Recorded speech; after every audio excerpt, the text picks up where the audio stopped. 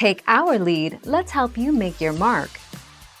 Our goal is your satisfaction. Let us show you the way.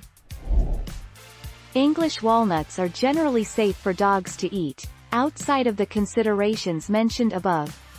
But black walnuts, a type of walnut not commonly eaten by people, are toxic for dogs. The symptoms of toxicity are vomiting, muscle weakness and tremors, a high temperature, and seizures. 30 July 2020.